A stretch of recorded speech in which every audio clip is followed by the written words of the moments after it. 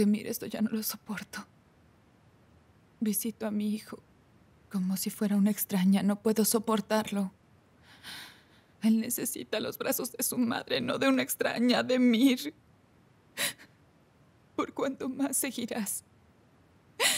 ¿Por cuánto más tendré lejos a mi hijo? Dime, te lo suplico. ¿Cuántas noches más tendré que sufrir con su ausencia? Dímelo. Hasta que Yilmaz y Mukyan se casen. ¿Qué? Adnan. Solo así volverá su hija. No es posible. ¿Qué tiene que ver que mi hijo regrese con el matrimonio de Yilmaz? Mira, no soy tonto, Zulija. ¿Qué me quieres decir? ¿Crees que no me doy cuenta de la forma en que lo miras? De, nuevo esa letanía. ¿Letanía? ¿Aún tienes esperanzas? Tienes la esperanza de estar de nuevo junto a él un día, ¿verdad? ¡Qué locura! No seas ridículo, ¿quieres? Tan solo decirlo me da vergüenza. Tú me hiciste así. Si te avergüenza, ya no lo digas. Tú no quieres entender. Y seguirás persiguiendo esa fantasía a menos de que se casen, pero no haré que Adnan sea parte de tus sueños. ¿Me entiendes?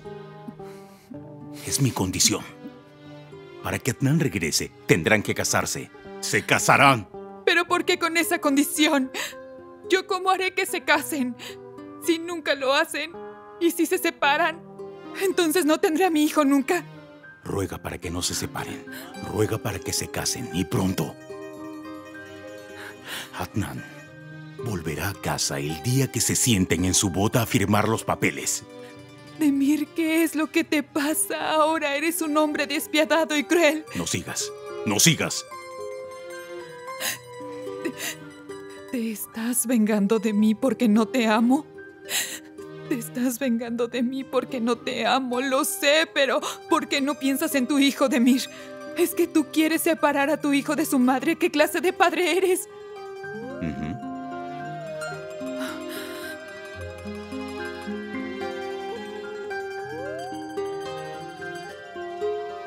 ¿No que no es mi hijo?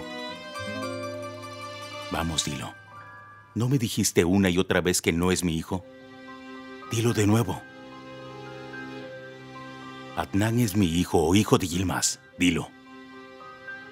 Contéstame.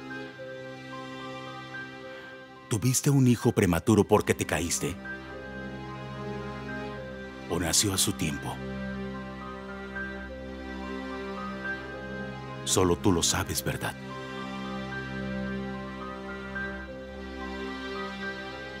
Solo tú lo sabes. Solo tú sabes quién es el Padre. Así que dilo. ¿Adnan es mi hijo de Yilmaz su hija?